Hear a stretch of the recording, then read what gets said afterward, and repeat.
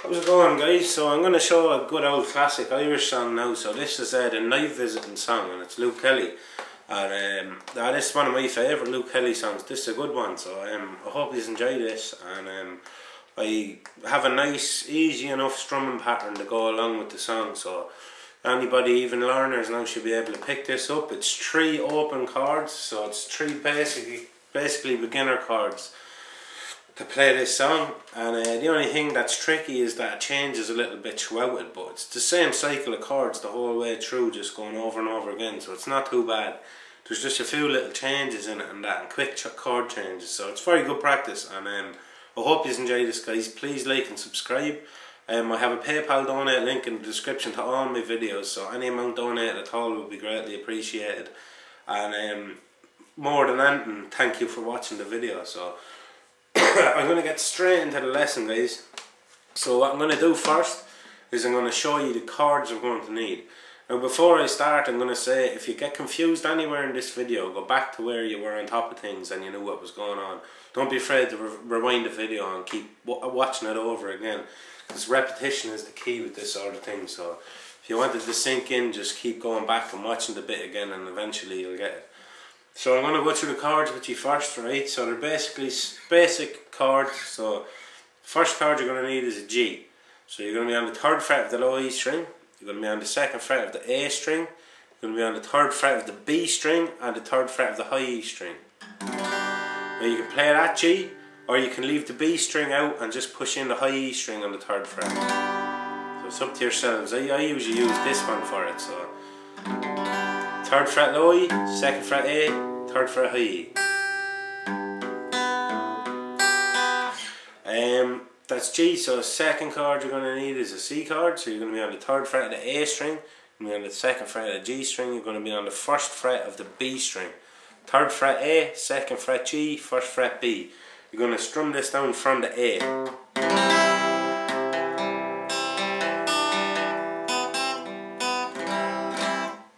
nice chord. You can mess around with that chord a lot guys once you get used to it.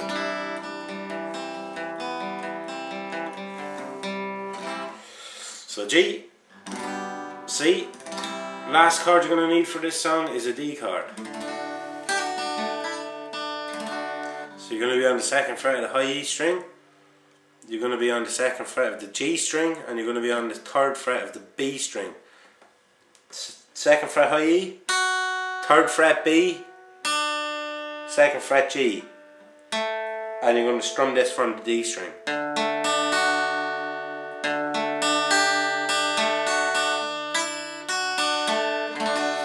there you go, so G, either G, C and D. Now to start this song usually put a little, so that's the first thing you're going to do. So you're going to be in the G chord and you're going to hit the low E string on the third fret and the G, you're going to have the G chord pushed in. Then you're going to take your index finger off the second fret of A. You're going to go.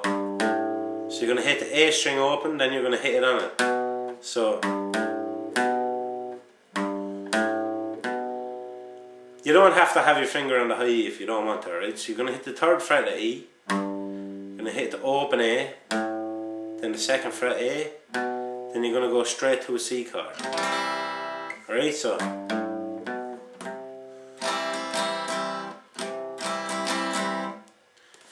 Now, the strumming I decided, the strumming I said I use for this is like a wall strum, so it's. So what you're doing is you're going to pick the bass note of the chord you're in, so on this one it's A, and D says, eh, so you're going to go pick, down, up, down, up, pick, down, up, down, up, pick, down, up, down, up that's the way the strumming's going to go on this song and when I'm teaching this now I'm going to say so say we're going to the C chord for two. So if I say two that means one two. Right? So one two. So each one of them pick down up down up that's one. So one two three four. Right guys? So that's the way I'm going to play it so when you start the song, you're going to hit the third fret, low E, open A, second fret A, straight into the C chord, pick, down, up, down, up. So just one, And straight to the G. So pick, down, up, down, up, G. And I think that's for three beats, right? So one, one, two, three. So three beats there. Pick, down, up, down, up, pick, down, up, down, up, pick, down, up, down, up. Right, so right from the start. One, one, one, two, three. Now you're going to go to D chord. One, just for one beat, and then back to G. One, two. Alright, so right from the start, guys.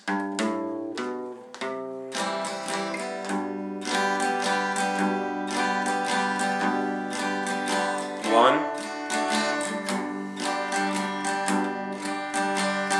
And two on the G then, okay? So right from the start, a little riff.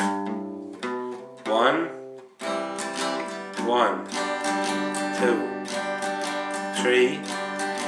One. One. Two. Now after this G chord, you're going to go to the C chord. One. Just one. Then back to G. One two, and then after that two you're going to go to D. One, two, three, four. Must be right. So four on the D. So from the start, guys. And you know the way I said, if you get confused, go back and find where you were. And if you keep following from the start of the video the amount of beats you're on, you'll get the hang of the song. Listen to the song a few times as well. It's a brilliant song, so this one's well worth learning. So right from the start, I'm just going to count out the number of the chords, alright? One, one, two, three, one, one, two, one, one, two, one, two, three, four. Now we're going back to G from here. One, two, three, four. Alright, so it was four on the D and then four on the G again, alright? So right from the start I'm going to play it again. I hope I'm not nine years doing this, but it's a way that you definitely won't get mixed up because these chord cycles, alright, this is the way this is going to change. It's going to change like this every time with this amount of beats. But it's not going to, you're not going to have any other parts to learn. This is it. So when you learn from the start of what I'm showing you to the end, then that's it. It's not going to change. So you know the song, right? So C chord for one. G, three. One on D, two on G. One on C, two on G. Four on D, three, four, four on G. Now C, one. So C one, back to G. One, two. Right, so two on G when you get back to G, right? So from the D, remember the four strums on the D, and you had four strums on the G. Right, so I'm going to play it from the start again so you'll get it. C one, one, two, three, one, one, two, one, one, two, one, two, three, four, one, two, three, four, one, one, two. Now when you get to here it's going to be a quick change of all the chords, alright? I'll show you now, but it's only one beat, so you're going to go C, 1, G1, D1, G1. And back to the start again. And that's it. That's the way the song will keep going, guys. It's not going to change. So it's going to keep going like that for. And um, there's no change. That's it. So right from the start, I'm going to play the whole verse through, right?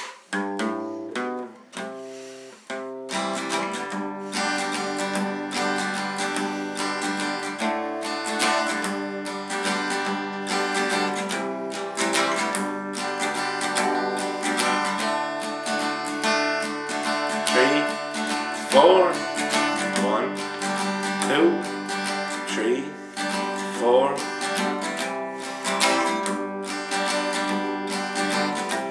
One, one, one, two, one, two, three, four, and one, one, two, three, one, one, four. So that's the way that the way that cycles. It's going to keep going like that over and over and over again. so what I would do if I was you, when I start even learning this, the first time you start learning, when I start showing that, you learn each chord as I'm teaching it, and you learn how many beats you have to do in that chord, and practice doing it before you go to the next chord. And by the time you get to the very last chord, you're going to know the song. You're going to know it like. So it's a good song. That is a good Luke Kelly song. Like it's a nice one, and um, I hope you enjoy that. Thanks for watching. I'm going to up a video on my right hand to show you what. Right, guys. So right from the start of the song, yeah.